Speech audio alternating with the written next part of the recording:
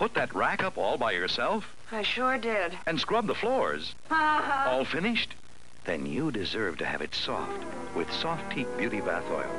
Most leading bath oils just float on the water, but Softique swirls through the water, swirls relaxing softness evenly over your skin.